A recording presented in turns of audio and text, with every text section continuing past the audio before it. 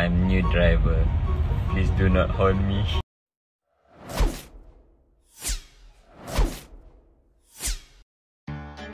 Tular di media sosial satu video yang memaparkan pemandu kereta menampal nota di bahagian belakang keretanya untuk dibaca oleh pengguna jalan raya yang lain. Menerusi perkongsian yang dimuat naik di TikTok, pemandu berkenaan difahamkan baru saja menerima lesen memandunya dan membuat pesanan yang menarik perhatian orang ramai. Ini kerana pemandu itu memesan agar pengguna jalan raya yang lain untuk tidak memberikan hon kepadanya. Sementara itu, di bahagian komen ternyata orang ramai terhibur dengan pesanan yang ditulis pada kertas berwarna merah jambu tersebut. Malah ada juga yang berseluruh bahawa mereka akan mengetuai pemandu itu untuk memudahkan dia memandu di jalan raya.